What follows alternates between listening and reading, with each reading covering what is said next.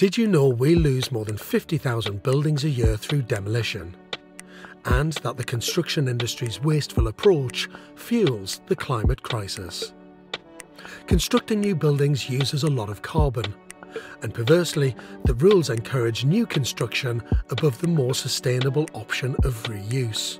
Most refurbishment work is charged the standard 20% rate of VAT, while much new build construction attracts a rate of zero.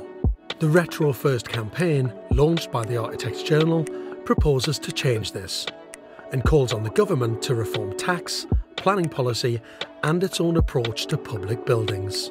You can find out more by Googling Retro First.